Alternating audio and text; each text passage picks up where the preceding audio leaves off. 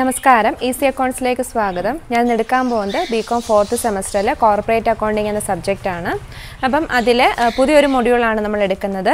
Three B accounts of insurance companies നമ്മൾ ഇതിനു മുന്നേ അക്കൗണ്ട്സ് ഓഫ് ബാങ്കിങ് കമ്പനീസ് പഠിച്ചിരുന്നു. അപ്പോൾ അതിനകത്ത് ഷെഡ്യൂളൊക്കെ പഠിച്ചിരുന്നു. അത് തന്നെയാണ് ഇവിടെ പഠിക്കാനുള്ളത്. അപ്പോൾ നമ്മൾ ആദ്യം തന്നെ എന്താണ് ഇൻഷുറൻസ് എന്നും അതിന്റെ മീനിങ് ഡെഫിനിഷൻ അതുപോലെ ഏതൊക്കെ ടൈപ്സ് ഓഫ് ഇൻഷുറൻസ് ഉണ്ട് തുടങ്ങിയ കാര്യങ്ങളാണ് നമ്മൾ ഈ ഒരു വീഡിയോയിൽ പറയാനായിട്ട് ഉദ്ദേശിക്കുന്നത്. അപ്പോൾ ആദ്യം തന്നെ നമുക്ക് മീനിങ് നോക്കാം. Insurance is A distinct type of business carried on by A large companies and corporations large കമ്പനീസുകൾ നടപ്പിൽ നടപ്പിലാക്കുന്ന ഒരു എന്താണ് ബിസിനസ്സാണ് എന്തെന്ന് പറയുന്നത്? ഇൻഷുറൻസ് എന്ന് പറയുന്നത്. It is a contract of guarantee as well as contract of indemnity ഇത് ഒരു ഗ്യാരണ്ടിയാണ് ഒരു നമ്മളൊരു ഗ്യാരണ്ടി കൊടുക്കുകയാണ്. അല്ലെങ്കിൽ ഇതൊരു കോൺട്രാക്ട് ഓഫ് ഇൻഡെംനിറ്റി എന്ന് പറയാനായിട്ട് സാധിക്കും. കോൺട്രാക്ട് ഓഫ് ഗ്യാരണ്ടിയും കോൺട്രാക്ട് ഓഫ് ഇൻഡെംനിറ്റിയും ഒക്കെ നമ്മൾ ബി ആർ എഫിനകത്ത് പറഞ്ഞിട്ടുണ്ട്. ആ കാര്യം തന്നെയാണ് ഇവിടെ ഉദ്ദേശിക്കുന്നത്.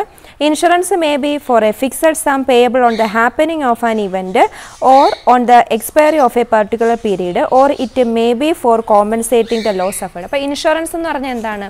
ഒരു പീരീഡ് കഴിയുമ്പോൾ ഒരു ഫിക്സഡ് പീരീഡ് കഴിയുമ്പോൾ അല്ലെങ്കിൽ ആ ഒരു എന്താണ് പോളിസി നമ്മൾ എടുക്കുമ്പോൾ ഒരു ഫിക്സഡ് പീരീഡ് കഴിയുമ്പോൾ നമ്മൾ ഒന്നുകിൽ എന്ത് ചെയ്യും? പൈസ കൊടുക്കും. അല്ലെങ്കിൽ എന്തെങ്കിലും നഷ്ടം സംഭവിക്കുകയാണെങ്കിൽ അതിന് പൈസ കൊടുക്കും. അതല്ലെങ്കിൽ ഒരു ലൈഫ് ഇൻഷുറൻസ് ഒക്കെ ആണെങ്കിൽ ആ വ്യക്തിയുടെ ജീവൻ എന്തെങ്കിലും സംഭവിക്കുകയാണെങ്കിൽ നമ്മൾ എന്ത് കൊടുക്കും? പൈസ കൊടുക്കും. അതാണ് ഇൻഷുറൻസ് എന്ന് ഉദ്ദേശിക്കുന്നത്. The consideration for such a guarantee or undertaking is the payment of a small amount at regular intervals. അപ്പോൾ അങ്ങനെ ഒരു എമൗണ്ട് നമുക്ക് കിട്ടണം എന്നുണ്ടെങ്കിൽ നമ്മൾ അങ്ങോട്ട് എന്ത് കൊടുക്കണം? ഒരു കൺസിഡറേഷൻ അപ്പോൾ നമ്മൾ കൊടുക്കുന്ന ഒരു സ്മാൾ എമൗണ്ടിനെയാണ് എന്തെന്ന് പറയുന്നത്? പ്രീമിയം എന്ന് പറയുന്നത്. അപ്പോൾ നമുക്കറിയാം നമ്മൾ നമുക്ക് ഇൻഷുറൻസ് കമ്പനി നമുക്ക് എന്തെങ്കിലും ഒരു ഇൻസിഡന്റ് സംഭവിച്ച് അതിൽ നിന്ന് നഷ്ടം വരുമ്പോൾ നമുക്ക് പൈസ തരണം എന്നുണ്ടെങ്കിൽ നമ്മൾ അങ്ങോട്ട് എന്ത് കൊടുക്കണം? ഒരു റെഗുലർ പീരീഡിന് അല്ലെങ്കിൽ ഒരു റെഗുലർ ഇന്റർവെല്ലിൽ നമ്മൾ എന്ത് കൊടുക്കണം? ഒരു എമൗണ്ട് ഒരു ചെറിയൊരു എമൗണ്ട് നമ്മൾ അങ്ങോട്ട് കൊടുക്കേണ്ടതായിട്ടിരിക്കും അത് ആനുവൽ ആവാം ഹാഫ് ഇയർലി ആവാം ക്വാർട്ടർലി ആവാം. അപ്പം എങ്ങനെയാണെന്ന് വെച്ചാൽ മന്ത്ലി ആവാം. അത് നമ്മുടെ പിന്നെ പോളിസി എടുക്കുന്ന സമയത്ത് നമുക്ക് എങ്ങനെ ഒരു പ്രീമിയം അടയ്ക്കണം എന്നുള്ളത് നമുക്ക് തീരുമാനിക്കാം. ഇനി ഡെഫിനിഷനാണ് പറയുന്നത്. Insurance may be defined as ഇൻഷുറൻസിനെ define ചെയ്തിരിക്കുന്നത് ഈ കോൺട്രാക്ട് ഇൻഷുറൻസ് എന്ന് പറഞ്ഞാൽ എന്താണ്? ഒരു കോൺട്രാക്റ്റ് ആണ് whereby one person in consideration of a certain sum known as premium agree to pay on the happening of an event or on the expiry of a period a sum of money or to compensate the loss to the other അപ്പോൾ എന്താ പറഞ്ഞിരിക്കുന്നത് ഒരു contract ആണ്. ഈ contract എന്ന് പറയുമ്പോൾ whereby അവിടെ one person in consideration of a certain sum known as premium ഒരു വ്യക്തി എന്ത് ചെയ്യുന്നു? കൺസിഡറേഷനായിട്ട് കുറച്ച് എമൗണ്ട് കൊടുക്കുന്നു. അതിനെയാണ് എന്തെന്ന് പറയുന്നത്? പ്രീമിയം എന്ന് പറയുന്ന എമൗണ്ട് കൊടുക്കുന്നു. ആ കൊടുക്കുമ്പോൾ അവിടെ എഗ്രി ചെയ്യുന്നു. എന്താണ് എഗ്രി ചെയ്യുന്നത്? To pay on the happening of an event എന്തെങ്കിലും ഒരു ഇവന്റ് സംഭവിക്കുമ്പോൾ തിരികെ ആ, ആ എമൗണ്ട് കൊടുക്കാമെന്നോ അല്ലെങ്കിൽ ആ ഒരു പീരീഡ് ആ ഒരു കാലാവധി കഴിയുമ്പോൾ സർട്ടൺ സം ഓഫ് മണി കൊടുക്കാമെന്നോ അതും അല്ലെങ്കിൽ എന്തെങ്കിലും നഷ്ടം സംഭവിക്കുമ്പോൾ അതിന് കോമ്പൻസേഷനായിട്ട് കൊടുക്കാം എന്ന ആ ഒരു എന്താണ് ഒരു ആ ഒരു എഗ്രിമെന്റിന്റെ അടിസ്ഥാനത്തിലാണ് ഒരു വ്യക്തി എന്ത് അടയ്ക്കുന്നത് പ്രീമിയം അടയ്ക്കുന്നത്. Hence, insurance business helps to reduce the risk of a individuals and institution and at the same time enables the insurance company to make some profit. അപ്പോൾ ഈ ഒരു ഇൻഷുറൻസ് കൊണ്ട് ഉദ്ദേശിക്കുന്നത് എന്താണ്? ഒരു വ്യക്തിയുടെ റിസ്കിനെ കുറയ്ക്കുക എന്നുള്ളതാണ് അല്ലേ? നമുക്ക് കംപ്ലീറ്റ് ആയിട്ട് റിസ്കിനെ ഒഴിവാക്കാൻ പറ്റില്ല. എങ്കിലും ഒരു വ്യക്തിയുടെ റിസ്കിനെ എന്താണ് ഒരു പരിധി വരെ നമുക്ക് എന്ത് ചെയ്യാൻ പറ്റും? ഒഴിവാക്കാനായിട്ട് ഈ ഒരു ഇൻഷുറൻസ് കൊണ്ട് ഒഴിവാക്കാനായിട്ട് പറ്റും. അതേസമയം തന്നെ ഇൻഷുറൻസ് കമ്പനിക്ക് അതുവഴി എന്ത് ചെയ്യുന്നു? ലാഭം നേടാനും സാധിക്കുന്നു. The company or corporation that conducts the insurance business is known as insurer ആ ഒരു കമ്പനി അല്ലെങ്കിൽ ഇൻഷുറൻസ് നടപ്പിലാക്കുന്ന ആ ഒരു ബിസിനസ് നടപ്പിലാക്കുന്ന ആ കമ്പനി അല്ലെങ്കിൽ കോർപ്പറേഷൻ നമ്മൾ ഇൻഷുറർ എന്ന് പറയുന്നു. And the person in whose favour the insurance is effected is known as insured ആർക്ക് വേണ്ടിയിട്ടാണോ ഇങ്ങനൊരു ബിസിനസ് നടത്തുന്നത്? ആരെ ഫേവർ ചെയ്തുകൊണ്ടാണോ ആ വ്യക്തി ഇൻഷുർഡ് എന്നും പറയുന്നു.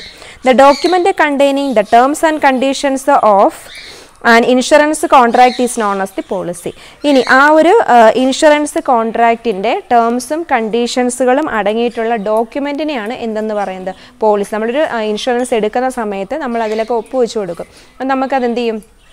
പേപ്പറിൽ ഒപ്പ് വെക്കുമ്പോൾ നമുക്ക് രജിസ്റ്റേർഡ് ആയിട്ട് അതിന്റെ പോളിസി ആ ഒരു നമ്മുടെ എന്താണ് ആ ഒരു പോളിസിയുമായി ബന്ധപ്പെടുന്ന എല്ലാ ഡീറ്റെയിൽസുകളും ടേംസും കണ്ടീഷനും ഒക്കെ അടങ്ങിയ ഒരു പേപ്പർ വരും. അതിനെയാണ് നമ്മൾ എന്തെന്ന് പറയുന്നത്? പോളിസി എന്ന് പറയുന്നത്.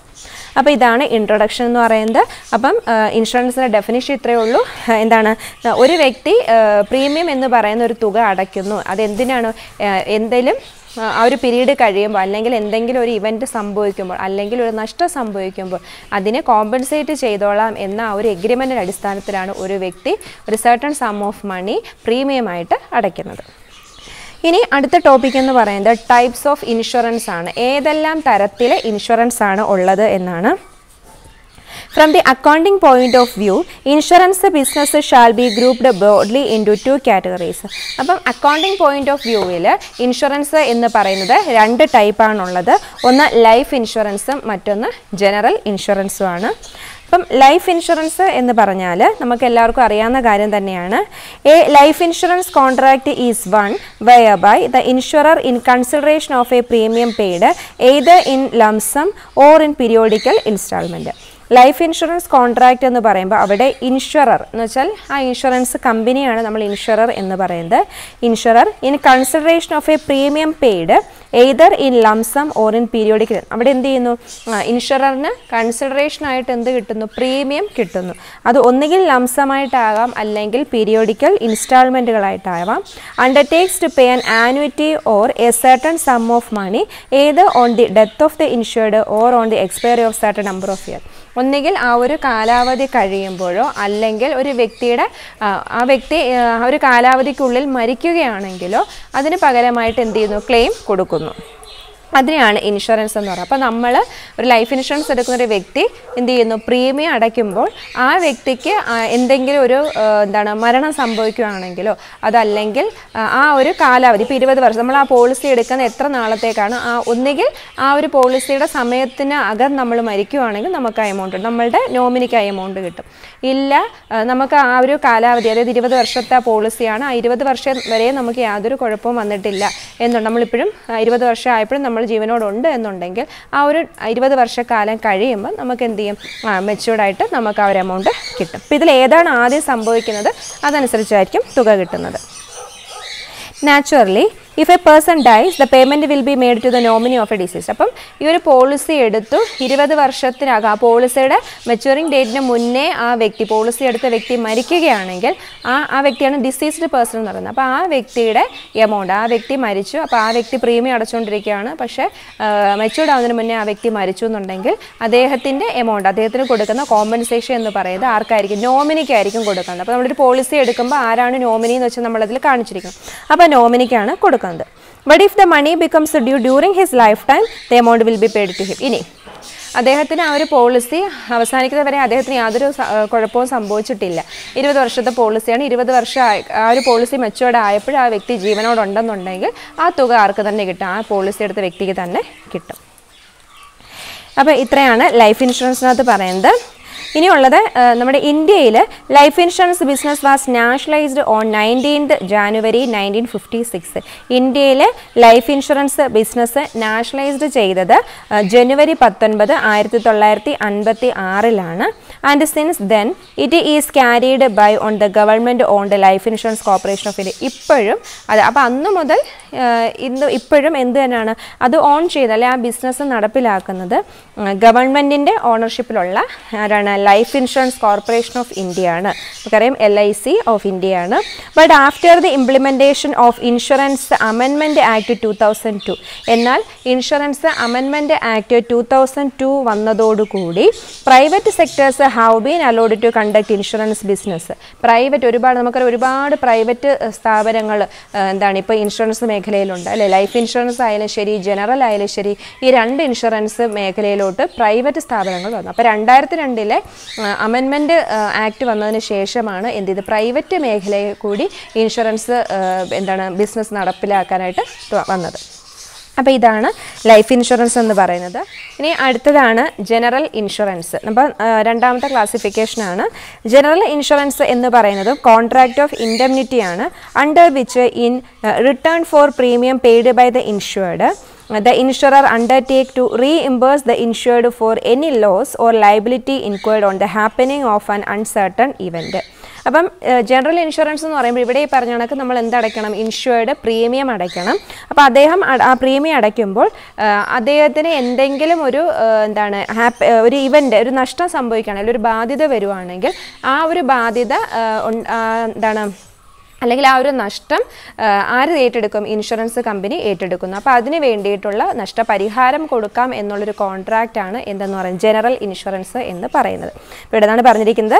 Reimburse the insured for any loss ഇപ്പോൾ എനിക്കൊരു നഷ്ടം വന്നു.